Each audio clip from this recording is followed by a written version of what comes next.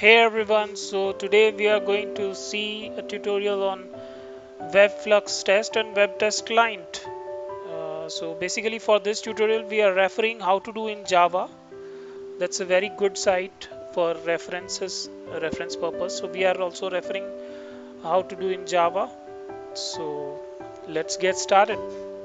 So here uh, what we are going to do is as in the previous video we have created a project uh, wherein we are uh, using West, uh, web uh, client, Spring Web client, and making a call to JSON placeholder uh, dot type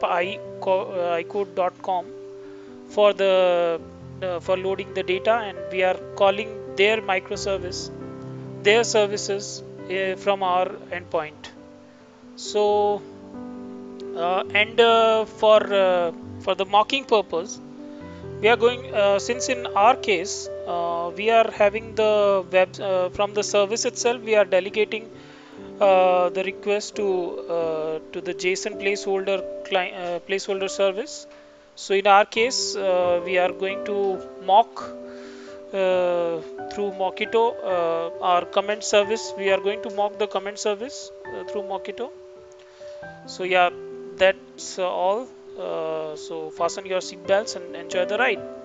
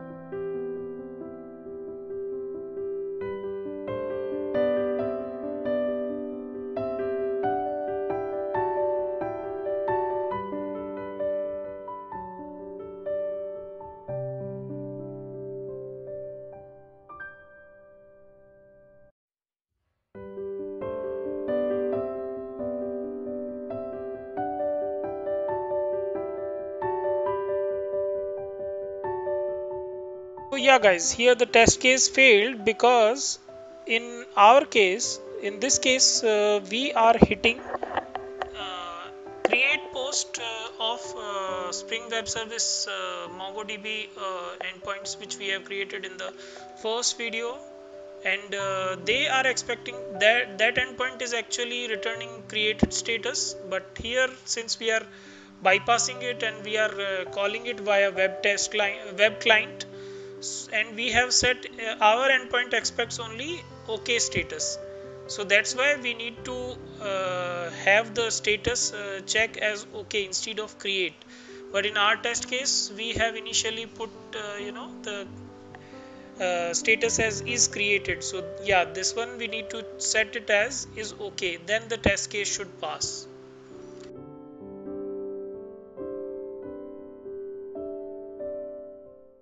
yeah so let's run the te uh, the test cases all the test cases of this class and see uh, whether it passes or it shows any errors or something. Uh, let's see how what happens after this. Do. voila! All the test cases are passed.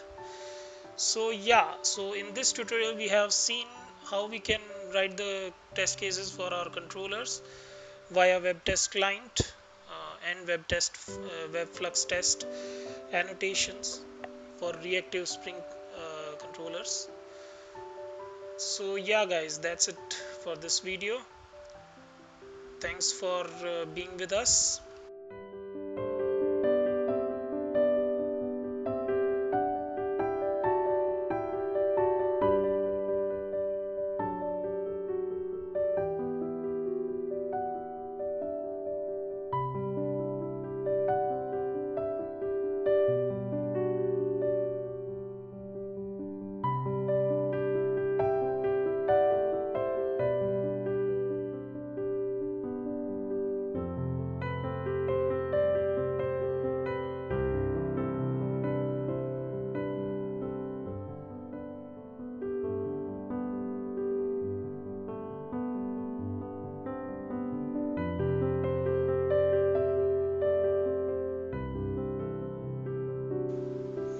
So, if you like our work, please like us on uh, YouTube and subscribe uh, to our work. And if you really appreciate our work, please subscribe it, please like it, please share it with your colleagues. Thanks for watching. Bye bye.